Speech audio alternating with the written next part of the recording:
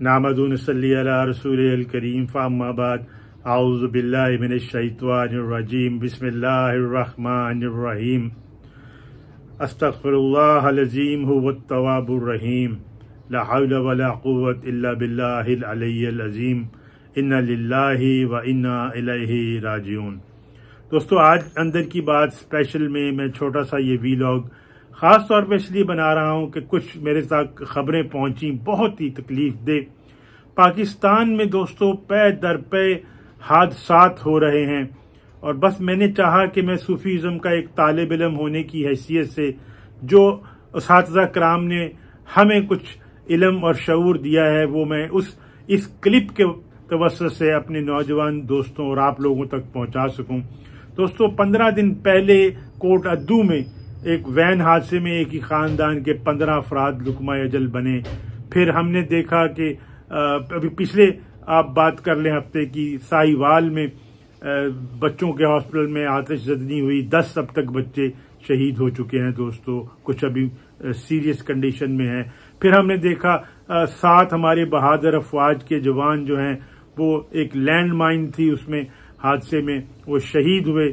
ابھی یہ دکھ تازہ تھا دوستو کہ آج خبر میری دیکھی میں نے کہ وادی نیلم میں کشمیر میں، دریائے نیلم میں ایک وین جاگری ملتان کا ایک فیملی تھی، سات افراد پہ مشتمل اور ٹوٹل انیس افراد اپنی جان سے ہاتھ دھو بیٹھے۔ ایسا لگتا ہے دوستو پاکستان پہ پے در پے حادثات نے یلغار کر دی ہوئی ہے۔ ویسے تو پاکستان میں جو اداد و شمار ہیں، نیشنل ہائی وے اتھارٹی کے وہ یہ بتاتے ہیں کہ پاکستان دنیا میں ہائیسٹ روڈ ایکسیڈنٹس والا ملک ہے۔ تقریباً چالیس سے پچاس ہزار کے قریب ہر سال لوگ اپنی جانیں حادثات میں کھو بیٹھتے ہیں۔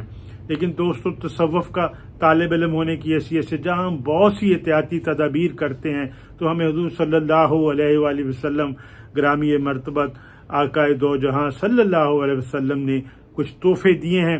اس کی طرف توجہ آپ کی اس مختلف کلپ کے ذریعے کروانا چاہ رہا تھا۔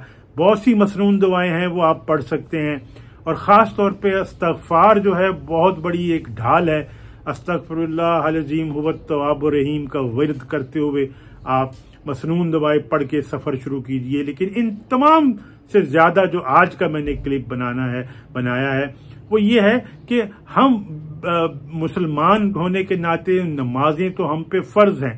لیکن حضور صلی اللہ علیہ وآلہ وسلم نے ان ناگہانی آفات سے بچنے کے لیے فجر کی نماز کی جو اہمیت ہے دوستو، وہ بہت متواتر کے ساتھ حدیث میں ہمیں ملتی ہے۔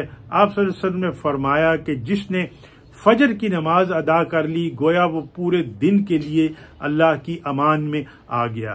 ویسے بھی حدیث شریف ہے کہ ایک نماز سے دوسری نماز تک انسان جو ہے، وہ اللہ سے اللہ کی پناہ میں ہوتا ہے، تو آپ سے بس آج کے کلپ میں توجہ اس طرف مبزول کروانی تھی کہ فجر کی نماز بہت بہت ہی ضروری، مشکل ہے، نیند قربان کرنی پڑتی ہے۔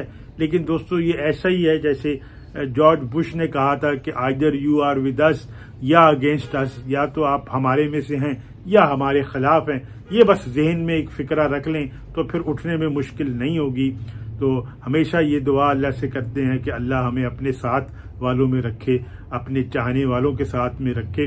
تو اس لیے سفر پہ روانہ ہونے سے پہلے میں آپ سے التماس کروں گا کہ فجر کی نماز کو اپنا معمول بنائیں، پھر استغفار کو اپنا معمول بنائیں، اور جو مصنون دعائیں جو آپ پڑھ سکتے ہیں، وہ ضرور پڑھ کے روانہ ہوں انشاءاللہ۔ امید ہے کہ اللہ سبحانہ تعالی ہمیں اپنی پناہ میں رکھیں گے اور اس کے باوجود اگر کوئی حادثہ ہوا تو وہ شہادت کی موت ہوگی۔ آج کی اس چھوٹی سی کلپ میں یہ تحفہ تصوف کا طالب علم ہونے کی حیثیت سے جو ہمارے اساتذہ کرام نے ہمیں پڑھایا، بتایا، اس کلپ کے ذریعے نوجوان نسل تک اور آپ لوگوں تک وہ پیغام میں امانت کے طور پہ پہنچاتا ہوں۔ اللہ پاکستان کو ہر قسم کی آفات اور بلائیات سے محفوظ رکھے۔ وآخر دعوانا أن الحمد لله رب العالمين. والسلام السلام عليكم ورحمة الله وبركاته.